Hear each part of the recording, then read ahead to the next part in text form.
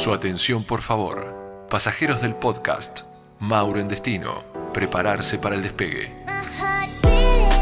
Durante los próximos minutos, solo vamos a hablar de viajes. Yo soy Mauro y esto es Mauro en Destino Podcast. Hola, ¿cómo les va? ¿Cómo andan? Bueno, espero que todo bien. Bienvenidos. Mi nombre es Mauro Agüero y esto es Mauro en Destino. Es a, través de podcast.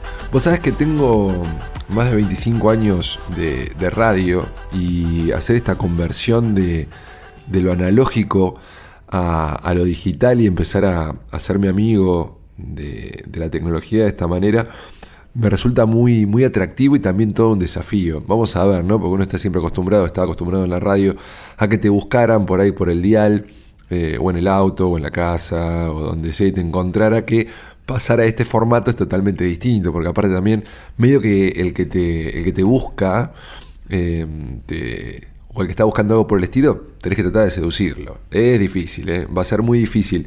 Pero bueno, un poco la idea es charlar de algunas cosas que no lo hacemos en el canal y de una forma distinta, ¿no? Porque de repente en YouTube tenemos una dinámica en la cual es, es muy específica y tenía ganas de entrar en contacto con ustedes de una forma diferente. Primero porque también van surgiendo muchas preguntas que me gustaría contestarlas de una forma distinta y tener la posibilidad y las herramientas para hacerlo de esta manera, me parece lo más correcto, ¿no? Charlar de cosas y que también me pasan a mí como viajero. Por ejemplo, el tema de hoy es em, alquiler de autos. En realidad yo estoy, estoy buscando alquilar un auto. He tenido experiencias alquilando autos, siempre en Estados Unidos. Tengo mucho familiar que quizás ha alquilado auto también para hacer eh, algún road trip por, por Europa. Pero lo mío ha sido Estados Unidos, la verdad que he manejado muy bien por, muchas de las rutas de Estados Unidos, por diferentes lugares. Entonces, salir desde el consejo, pero también desde la inquietud. Y vamos a arrancar con la inquietud. O sea, ¿qué me pasa al momento de alquilar un auto? Por ejemplo, les decía, yo en Estados Unidos estoy muy acostumbrado a alquilar auto. Por ende, conozco todas las, o sea, todas las arrendadoras. Eh, entiendo cómo es el juego, pero tengo que alquilar un auto en Europa. En realidad tengo que alquilar un auto en Palma de Mallorca. Me quiero mover en Palma de Mallorca. Conocí Palma de Mallorca hace un tiempo, que en realidad estuve un rato nada más. Tengo un amigo en Palma de Mallorca y me voy a pasar unos días a Palma de Mallorca. Ahora bien, me voy a pasar unos días a Palma de Mallorca me voy a alquilar un auto para manejarme, porque no es que está en la ciudad, sino que está en otro lado, está en una especie de, lugarcito donde hay una cala, entonces tengo que ir hasta ahí. Y la verdad que para manejarme en transporte público, ir y venir al aeropuerto y demás, es mucho más cómodo alquilar un auto y ya te sacas un problema de encima. Entonces, claro, cuando voy a las arrendadoras clásicas, ¿no? a las que yo ya conozco de, de mis viajes a Estados Unidos, como puede llegar a ser Badhead, Álamo, Avis, eh, SICT, que son algunas de las, de las más eh, conocidas e importantes, los precios son altísimos. Porque en cierto punto, claro, a ver, uno es viajero, pero tampoco es que ah, me la gasto toda, no sabes, no, a uno le cuesta muchísimo, entonces trata de ir viendo qué es lo que necesita. Les repito, he tenido un momento de mi vida donde he podido dar algún gusto, sí, me lo he podido dar. Hoy es un momento donde uno tiene que cuidar un poco más el mango. Entonces, ¿qué hace? Bueno, busca precios. Entonces me encuentro con que hay diferentes eh, prestadoras de servicio que tienen diferentes precios. No sé, acá estoy viendo Centauro y estoy viendo autos económicos, ¿eh? o sea, no me voy a algún tope de gama que termina siendo eh, caro para mí, ¿no es cierto? O a un auto, no sé, casi siempre eh, si son varios en la familia, lo que conviene siempre es un auto grande. Los autos grandes son los que vienen, por ejemplo, para cinco personas, cuatro valijas y demás, no tanto los compactos. Si ya son eh, cuatro adultos, bueno, les recomiendo una camioneta, de tener la posibilidad de alquilar camionetas y la verdad que las camionetas son muy cómodas y uno anda muy bien. Y también recordá que podés alquilar, si son más, podés alquilar una Vans o una mini Vans. Eh, he tenido la posibilidad de alquilar algún deportivo también en su momento. Los deportivos son lindísimos siempre y cuando vayas con poco equipaje. Si vas con mucho equipaje, no es recomendable un deportivo y también se los digo por experiencia. Alguna vez me he hecho el. Sí, me he hecho así. ah, mirá, me alquilé un deportivo. y he tenido que bajar los asientos traseros porque no me entraba la valija. Por eso, por eso se los digo en serio. Che, tengan cuidado cuando hagan algo por el estilo. Fíjense lo que realmente necesitan. Y acá estoy viendo, por ejemplo, compañías como Record Go, que estuve buscando un poco de data de Record Go y la verdad que todos se quejan, hasta la acusan de que evade al fisco en España. ¿Viste cuando decís, ay, ¿qué hago? Pero le alquilo algo, no le alquilo nada. Rodium es otra, Centauro es otra. Em, de las que estoy viendo, pero quizás la más conflictiva por el precio es eh, justamente Record Go. Aunque acá estoy viendo otra que voy a ver cómo se llama, porque ya que estamos acá, vamos a hacer esto en vivo con ustedes. Que me está, sí, me está cobrando demasiado, demasiado barato. Viste, a veces uno dice, uh, qué barato que es esto. Y acá estoy viendo, ¿cómo se llama la empresa? Ah, mirá vos, porque acá la tienen como una nueva arrendadora. A ver, vamos a entrar acá. Bueno, la verdad que el precio, como precio es barato, eh, y demás. Aunque para lo que estoy haciendo creo que me va a convenir en cierto punto poder em, comprar un vuelo con posibilidad de alquiler de auto. Me parece que ese sería el tiro mejor en este tipo de viajes por Europa y al destino que yo voy. Bien, eso puede llegar a ser eh, una vuelta. Acá estoy viendo nada, estoy viendo un Nissan eh, Micra eh, o un 4K, o un Ford Fiesta, o un Volkswagen, no sé qué hay por acá. El Polo ya se va un poquito más grande, me parece, ¿no? Sí, el Opel Corsa podría llegar a ser.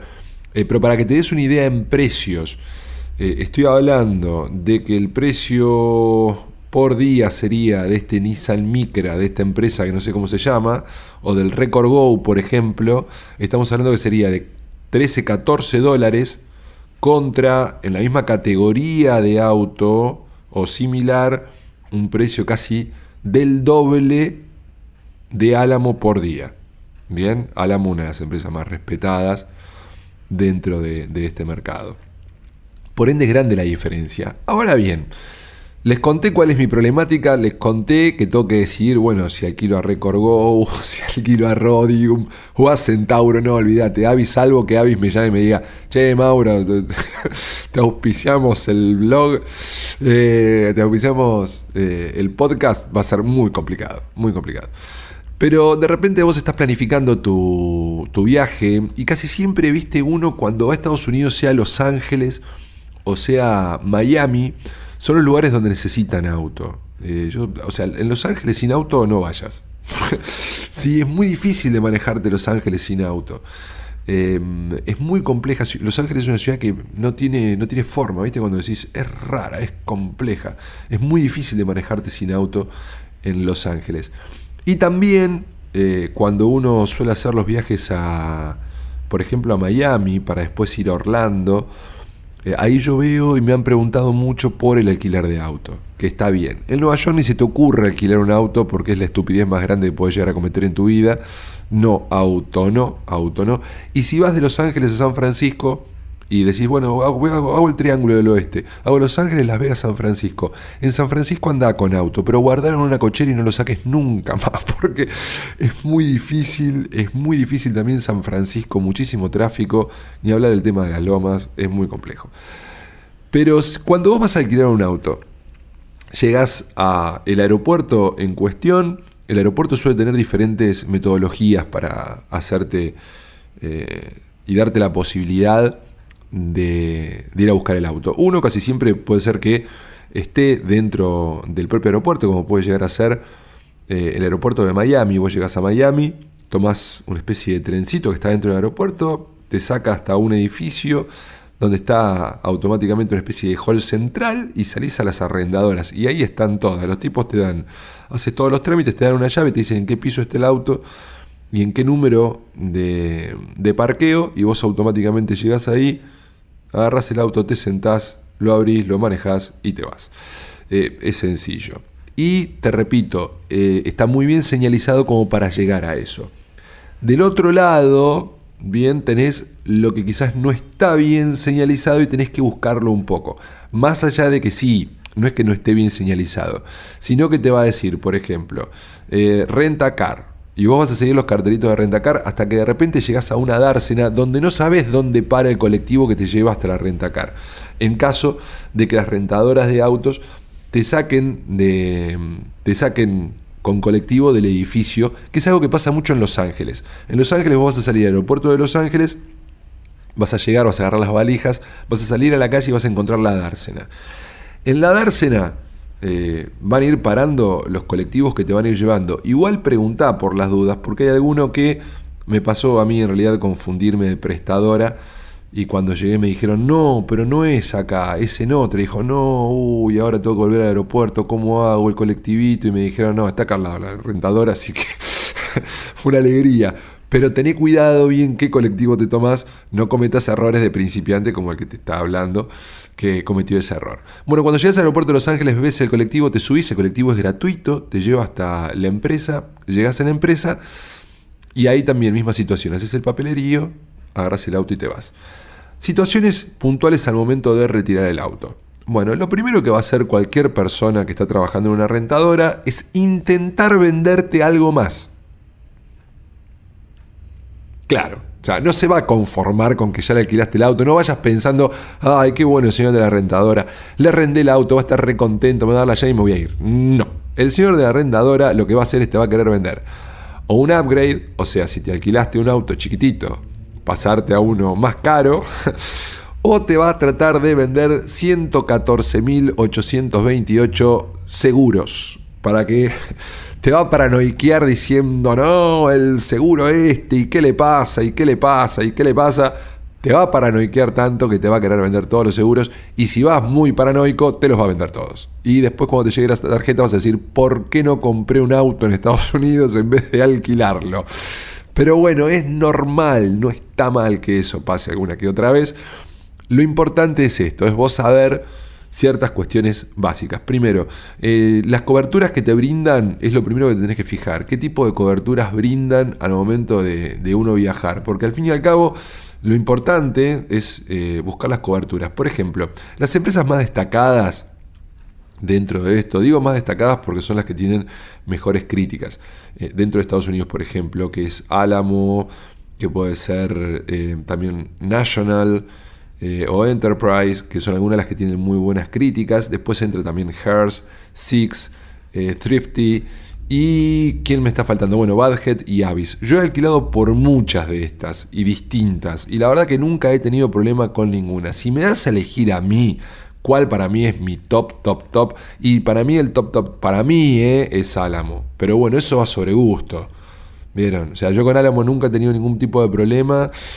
Eh, y ahora van a entender por qué les digo nunca he tenido ningún tipo de problema. Porque al fin y al cabo, eh, uno después suele haber algún que otro conflicto y nunca tuve problema con Álamo. ¿Viste cuando decís no tuve problema con Álamo?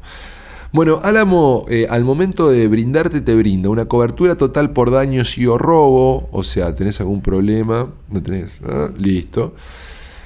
Te brinda el conductor adicional, que es si van con otro para que pueda manejar también el otro, bien. Acá estoy viendo, no sé, un auto para cuatro personas, aire acondicionado, kilometraje ilimitado y transmisión automática.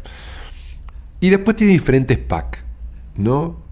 Como por ejemplo, por 1.512 pesos más, o por, vamos a, tirar más o menos una cifra en dólares, sí, aproximada, ¿no? Porque así no hablo en pesos y lo hablo un poco más masivo para, para el resto de, gente.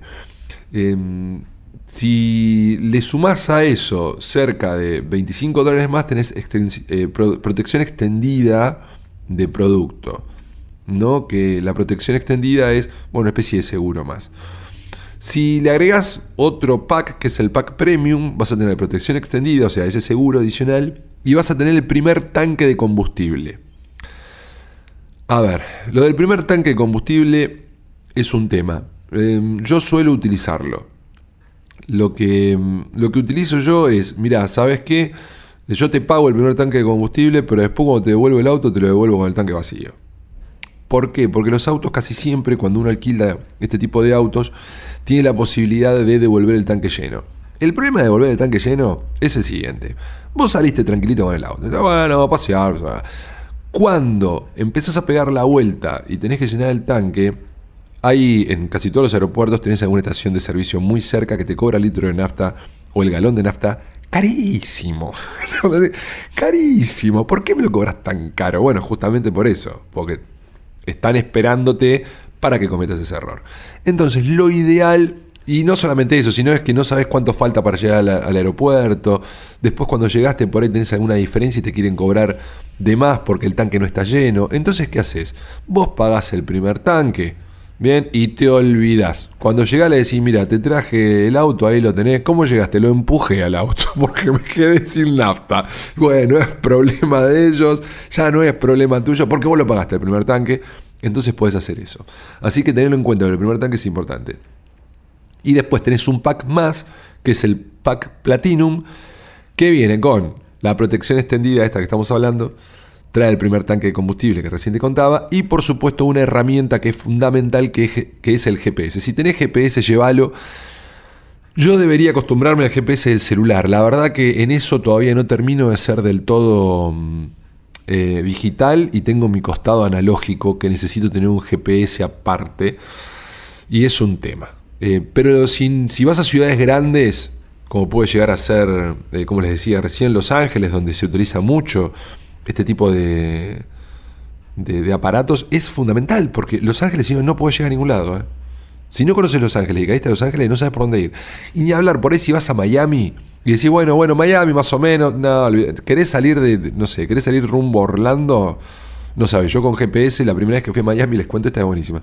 La primera vez que voy a Miami, voy a Miami, cometo un error grosero, en realidad, porque yo vivo en Mar del Plata. Mar del Plata queda en la República Argentina, en la provincia de Buenos Aires.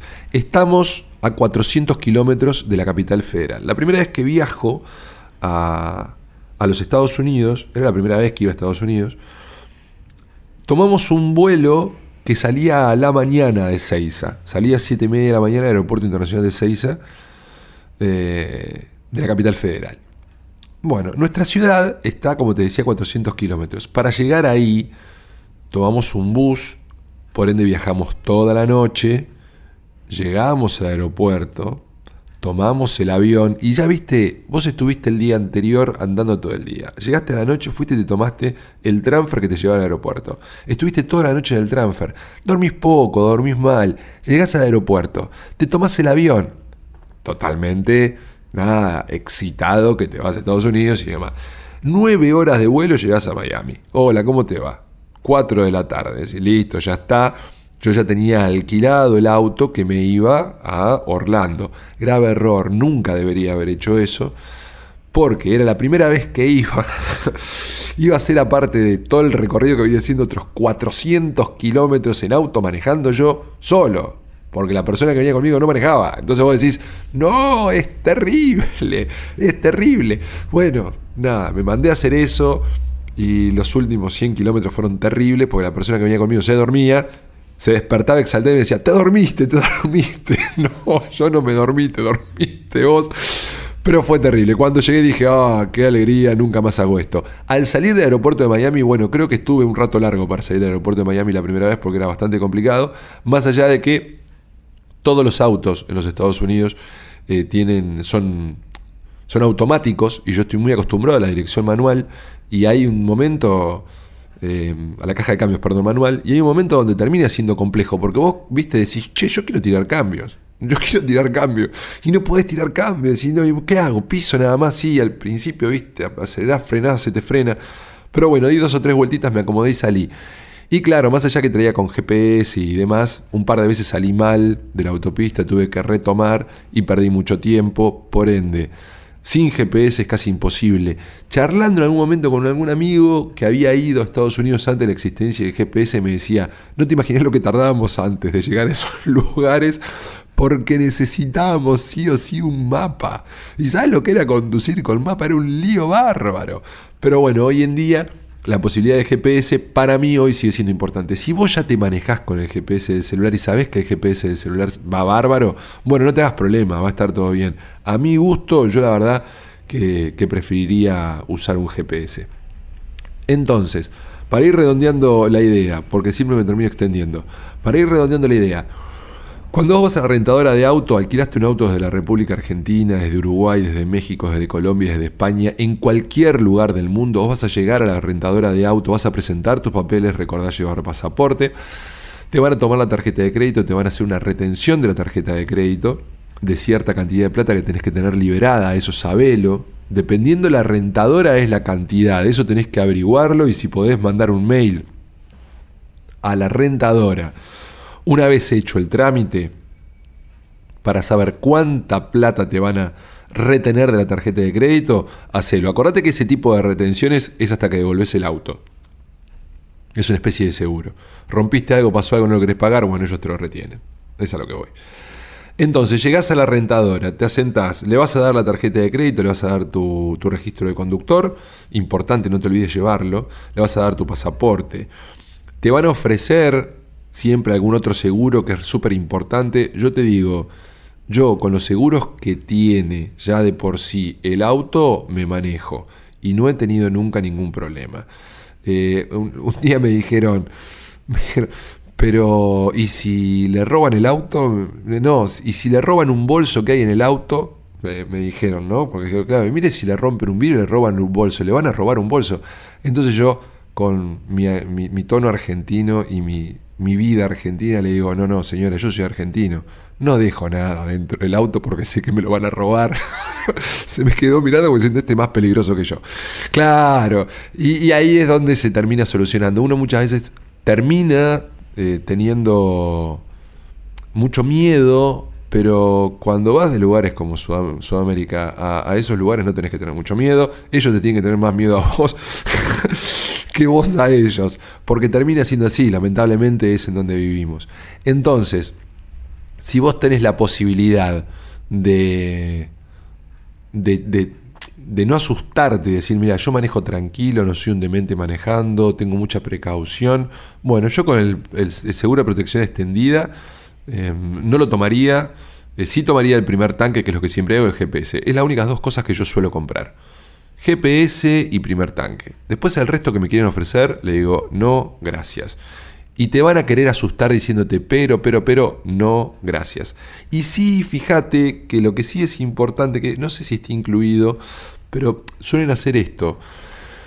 En muchas autopistas de los Estados Unidos em, tienen, por supuesto, obvio, eh, tienen garitas donde vos pasás y te cobran automáticamente como si fueran peajes. Lo que pasa en los peajes no es que vos pagás no es que tiene una cabina donde hay una persona y vos pagás, sino que el auto tiene una especie de sensor, que donde vos pasás por ese peaje, registra que pasaste por ese peaje y automáticamente ya tac, te lo carga tu tarjeta de crédito. Es automático.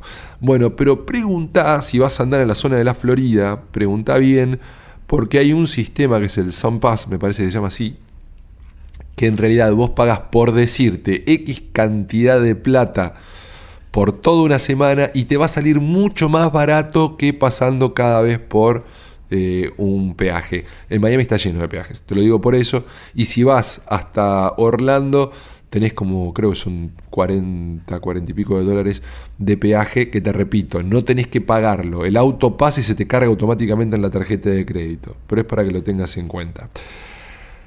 Le decís que no a todos los seguros, sacás este, este Zampas por decirte, eso no pasa en Los Ángeles, por ejemplo, o te compras el GPS con el primer tanque de combustible, se lo alquilás mejor dicho, con el primer tanque de combustible. Genial, ya tenés todo, salís, volvés. ¿Cómo es el sistema al momento de volver? Bueno, vos llegás a la rentadora de, de auto, volvés en el horario que tenés pactado volver, llegás con el auto, te toman el registro del auto, vos te bajás, y siempre, chicos, antes de subirse a un auto, por favor, cuando llegan y van a tomar el auto, no se enloquezcan por decir, mira el auto, mira le pones la llave, mira te lo abres así, te lo abras así. No, mírenlo bien al auto, fíjense si tiene rayones, si pueden sacarle fotos al auto de los laterales, de frente y de espalda, háganlo, sáquenle la cantidad de fotos que sean necesarias. Si bien que tiene una marca, si bien que tiene un rayón feo, si bien que tiene un, un golpe, bueno, sáquenle fotos para tenerla del día que lo alquilaron. Porque cuando van a devolverlo, sí, recorren el auto y lo miran. Y si ven que algo está mal, les van a decir, ah, mira, esto está mal, me lo tenés que pagar. Y te lo van a descontar de ese monto que te dije que te dejaban retenido de la tarjeta de crédito. Entonces, para no tener inconvenientes, siempre es importante chequearlo. Por ejemplo, si vas a viajar a México y estás pensando en alquilar un auto, Tengo mucha data que me han dicho, ojo con los mexicanos en los alquileres de auto, porque con eso de decirte, mirá, tiene un rayón, mirá, tiene un golpe y demás, te terminan arruinando. Entonces, antes de subirte al auto, míralo bien, sacale fotos, chequea si tiene un golpe, fíjate dónde, fíjate cómo están las gomas, fíjate cómo está todo. Si te subís y ves que el asiento está roto, sacar una foto eh, y mostralo. Eh, y en caso si ves que hay algo que no te gusta, vas y decís, mira, el auto este no me gusta esto, cámbiamelo. Y algunas veces te vas a tener que pelear un poco más, otras veces un poco menos. Pero principalmente para que quede claro y al momento de devolver el auto no tengas inconveniente. Una vez que devolviste el auto, bien, la plata esa que te retuvo la, empresa, sea cual sea la rentadora, la vas a volver a ver casi siempre a los 3, 4, 5 días. Es el procedimiento que ellos tienen, onda, bueno, sí está todo bien, desfrisale la plata que le dejaste retenida la tarjeta de crédito y ya está. Tené cuidado, lo único, si haces este tipo de cosas, pues no me quiero, no quiero decir una estupidez, pero hay una verdad, si a vos te corta la tarjeta en el momento que tenés eso retenido, tenés, eh, uy, qué locura. Pero no, ellos es como que retienen eso, pero no lo ejecutan. Lo ejecutan si lo necesitan ejecutar. Bien, es como una especie de retención que te hacen por sí. Si te lo ejecutan, te lo ejecutan. Pero por sí. Y después, si llegas a tener algún problema, siempre contactate con las rentadoras. Siempre contactate con las rentadoras. Porque, ¿Y por qué es importante? Es importante que si te, hicieron un descuento que no está bien, que reclames. Y te digo, los reclamos en las empresas importantes son los que realmente valen. Por eso, al momento de alquilar un auto, les decía que está buenísimo hacerlo por Álamo, por Badhead, por Avis, por cualquiera de las rentadoras copadas y conocidas, porque vos ya sabés que son conocidas y que tienen una marca. Y por eso, y desde ahí, nace mi duda si alquilo por Record Go ese Ford Fiesta tan barato o por esta otra que no sé ni cómo se llama, que sí, Weaver creo que se llama, Weaver, o por Rodium o por Centauro. Bueno, de esta forma yo cierro mi primer podcast. Creí que lo iba a hacer corto. ¿Cuánto voy hablando? Un montón, ¿no? Dije, no, va a ser de 10 minutos, 26 minutos de podcast. Bueno, este es el primero, después por ahí va a haber menos y más cortos, pero me resultó interesante y me fui extendiendo y me gusta hablar. ¿Qué le voy a hacer? ¿Te das cuenta por qué este tipo de videos no los puedo hacer? y era necesario contactarnos y hablar de una forma distinta.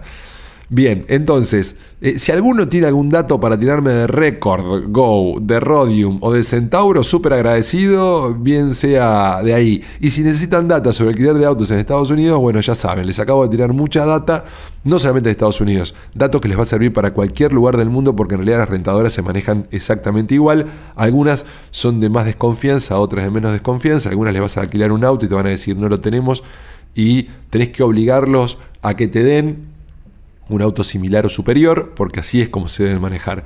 Pero por eso, antes de alquilar un auto, asegúrate y cerciorate que la rentadora sea de primera línea internacional, por lo menos las primeras veces que viajas. Después, cuando ya tenés mucho viaje encima, como quien les habla, bueno, por ahí se, anima a, a, pegarse una vuelta por este Record Go y ver de qué va y asustarse o no. sí, después decir, no, ¿qué me pasó? ¿Por qué? Pero bueno, alguien tiene que ser el conejito de India. Repito, si alguien sabe algo de Record Go en España, bueno, avísenme. O de Rodium, avísenme que vendría muy bien. Señora, señor, amiguito, amiguita, mi nombre es Mauro Agüero. Un gusto y un placer de haber hecho este primer podcast. Muy raro, la verdad que muy raro para mí. Pero hay que crecer y hay que migrar para otros lados y de a poquito hay que ir conociendo de qué se trata esta nueva forma de hacer radio. Les dejo un abrazo grande. Yo calculo que una vez cada 15 días eh, voy a estar haciendo un podcast, ya que va a ser una vez, sí, tengo un video, un podcast, un video, un podcast y de así, de ahí en adelante hasta que alguien me diga, yo te hago todo, te edito todo, te armo todo. Vos solamente sentate habla y, y viaja. Y listo, yo ya está, ahí voy a ser feliz. Mientras tanto, trabajaré. Así que chicos, gracias en serio por todo. Lo que necesiten me preguntan. Y acá estamos para solucionar historias. Un abrazo grande para todos. Media hora. Bien. Para el primer podcast. Muy bien. Abrazo. Chao.